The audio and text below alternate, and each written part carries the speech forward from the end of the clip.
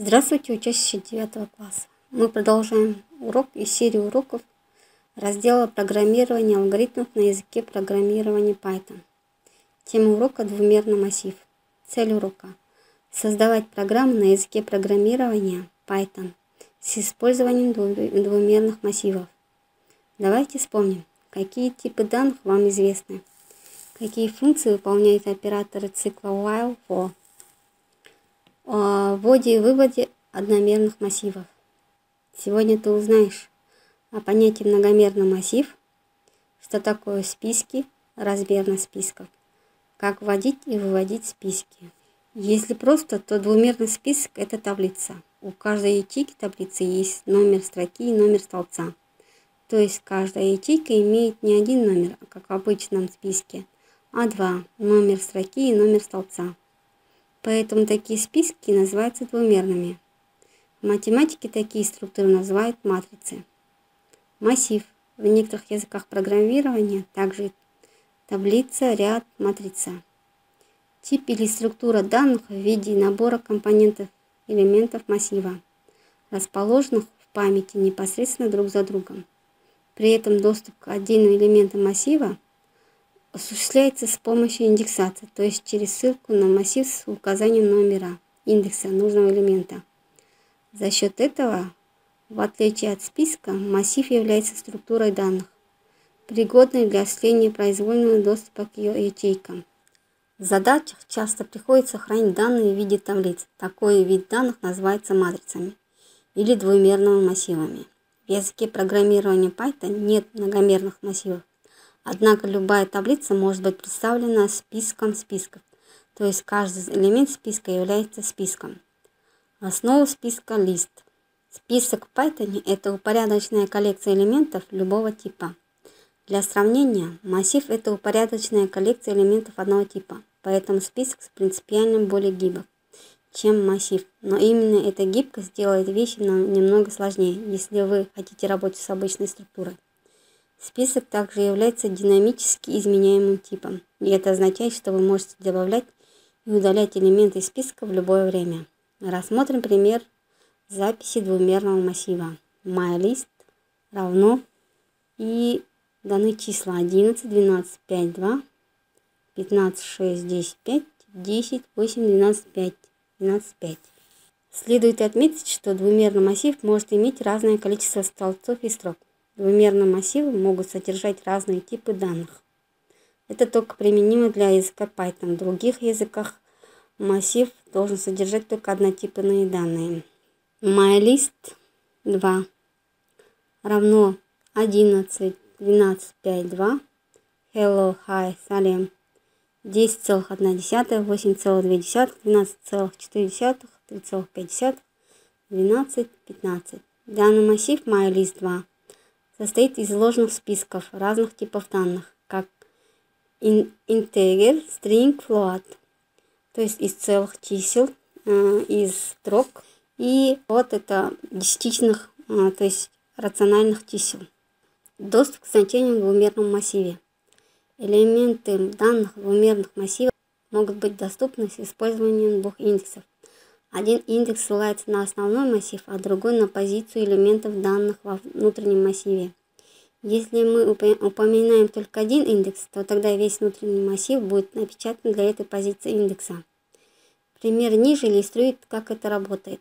MyList one равно 11, 12, 5, 2, 15, 6, 10, 15, 10, 18, 12, 5 и 12, 15 print MyList, фигурная скобка, квадратная скобка 0, выводит на экран 11, 12, 5, 2, то есть первую э, строку. Print MyList 1, 1, фигурная скобка 1, фигурная скобка 2, выводит на экран число 10. Это объясняется тем, что индексы в Python начинаются не как обычно везде с единицы, а с нуля. А, чтобы распечатать весь двумерный массив, мы можем использовать цикл for. А, for i in my list 1, for g in i, print g and равно, фигу, а, кавычки, скобка закрывается, print. В языке программирования Python таблицу можно представить в виде списка строк, каждый элемент которого является в свою очередь списком, например, чисел. Например, приведем программу, в которой создается числовая таблица из двух строк и трех столбцов, с которой производятся различные действия. From array import, то есть мы импортируем массив. Array, это, как вы знаете, везде, это в любом языке программирования, это массив или таблица. Дальше мы объявляем, то есть э, вводим, заполняем эту таблицу данными. В первой строке мы пишем числа 1, 2, 3, во второй строке 4, 5, 6. Как видите, рядом с программой дана таблица. И здесь мы таблицу начинаем с нуля, и точно так же и строки с нуля. То есть э, индексация начинается с нуля. Дальше мы распечатываем а, значение с нулё, а, нулевое, потом, то есть нулевую строку и первую строку. Дальше мы присваиваем а, значение b к значению нулевой строки, распечатываем b. Распечатываем 0 Э, первую строку, вторую позицию. То есть второе э, э, число, которое находится в нулевой строке во втором столбце. Также в нулевой строке и в первом столбце это будет число 7. То есть приравниваем к числу 7. Дальше мы распечатываем всю строку А, распечатываем строку Б. В второй строке Б мы приравниваем к 9 распечатываем нулевую строку А и распечатываем Б. Как видите, результат программы нам дан. Здесь первая строка списка является списком из чисел 1, 2, 3. То есть А нулевое, нулевое, то есть нулевая строка, нулевой столбец – это единица. Значение нулевой строки первого столбца 2. Значение нулевой строки второго столбца 3.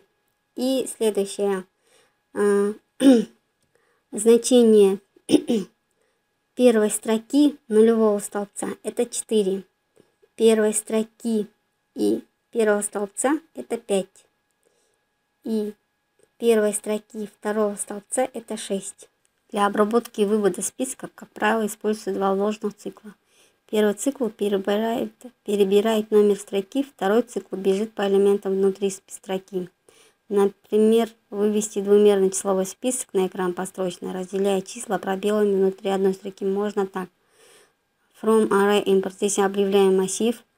Вводим, то есть заполняем эту таблицу числами 1, 2, 3, 4, 5, 6, 7, 8, 9. Дальше открываем первый цикл.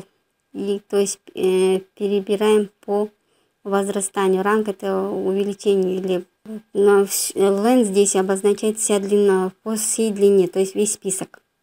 Второй цикл for G in rank len IG, то есть перебирает внутри всего списка. Дальше мы print распечатываем наш список по, элемент, по строчно по элементам, по рангу. И заканчиваем.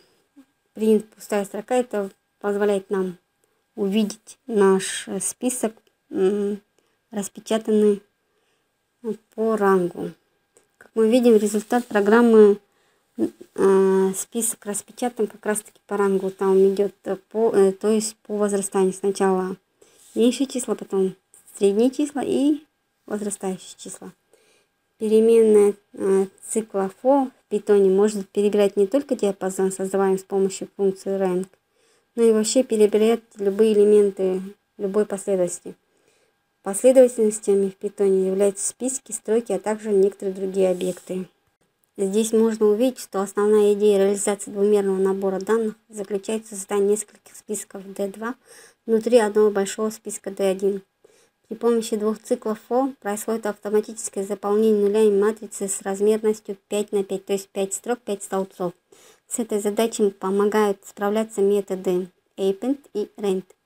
Первые это append, который добавляет новый элемент в список, то есть append он добавляет список, элемент. А второй позволяет, то есть range, устанавливать его по величине. Нельзя не отметить, что для каждого нового цикла for используется собственная переменная, временная переменная, выполняющая представление текущего элемента внешнего или внутреннего. Внешний у нас G и внутренний это I списков. Обратиться к нужной ячейке многомерного списка можно при помощи указания ее координат в квадратных скобках, ориентируясь на строки и столбцы. Первая строка, второй столбец. Так рассмотрим нашу программу. Сначала мы объявляем массив from array import. Дальше создаем список первый, D, э, строку первую, D1. Открываем цикл for для G по величине 5. Дальше создаем второй список D2. Опять же заполняем его нулями по величине 5. Дальше мы добавляем во второй список нули. Дальше э, второй список мы добавляем в первый список. Это D1, append D2. Это означает, что второй список мы добавляем внутрь первого списка. Распечатываем значение I и G. Распечатываем значение строки D1, D2, то есть списков D1, D2. Дальше в первый список D1 insert мы добавляем пятый пятую столбец э, значение двойка, то есть вместо нуля ставим двойку. Распечатываем D1. Дальше D2 insert 1, 1 означает то, что мы в первую строку или первый столбец добавляем значение единицы, то есть вместо нуля ставим единицу. Распечатываем D2. Как и в случае с двумерным массивом, представленным в виде сложного списка, многомерный массив реализуется по принципу списка внутри списка. Следующий пример наглядно демонстрирует создание трехмерного списка, который заполняется девятками при помощи трех циклов for. Таким образом, программа создает матрицу с размерностью 6 умноженное на 6 умноженное на 6. Итак, рассмотрим программу from array import, то есть мы открываем, импортируем массив или открываем массив. Открываем первый список D1. For K in rank 6, то есть заполняем его по величине. Далее открываем список D2. For G in rank 6, заполняем его опять же по величине. D3, открываем список D3. Опять же его for I in rank 6, заполняем его по величине. Дальше в, э, э, в список третий D3 добавляем девятку. То есть D3 append 9 означает, что мы добавляем еще одну девятку. Точно так же D2 append D3, то есть в список D2 мы добавляем список D3. И D1 append D3 означает, что в список D1 мы добавляем список D3. Print D1, D2, D3. И мы увидим результат нашего, э, нашей программы в виде матрицы. Аналогично двумерному массиву обратиться к ячейке, а, построенного выше объекта, можно с помощью индекса квадратных скобок. Например, D1, 4, 2, 3 означает четвертый, а, четвертая строка, второй столбец, третья позиция. Матрица в Python – это таблица объектов одного типа с общим именем. Двумерная матрица состоит из строк и столбцов. Чтобы обратиться к элементу матрицы, матрицы, необходимо указать имя матрицы и в квадратных скобках номер строки и номер столбца. Имя матрицы IG. Задать матрицу Python можно с помощью библиотеки NumPy. Рассмотрим здесь пример. Пример программы на Python, которая заполняет матрицу размером 5 на 10. 5 строк, 10 столбцов. Случайными числами. Случайные числа выбираются в диапазоне, заданном пользователем. Работа с случайными числами в Python. Домашнее задание. Напишите программу на языке Python, которая выведет двумерный массив размерностью 7 на 7 и заполните ее числами 5. На этом мой урок завершен. До свидания, ребята. До следующего урока.